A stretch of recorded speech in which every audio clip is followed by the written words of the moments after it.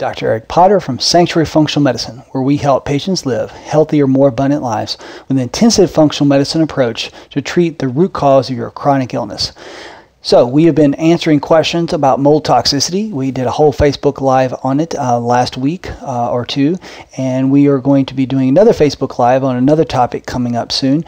Uh, but for right now, I'm going to answer another question uh, that Becky left. Are there good resources online to determine which remediation products are effective for mold but safe for people who are chemically sensitive? Antimicrobials are popular, but not safe for her.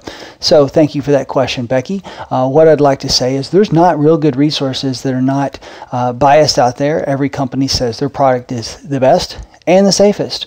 Uh, there are uh, Jill Carnahan has a site where she has some uh, summaries of things, but there really is no place. Hers is not complete, though she calls it the definitive. So one of the things I hope to do soon is put together something where we look at those products uh, and do as much comparison as we can. Uh, it's a difficult thing uh, without having those products testing and uh, would be a very expensive process. But we are wanting to at least get as much information out there for our patients and for our viewers uh, that will help them uh, have healthier lives away from mold.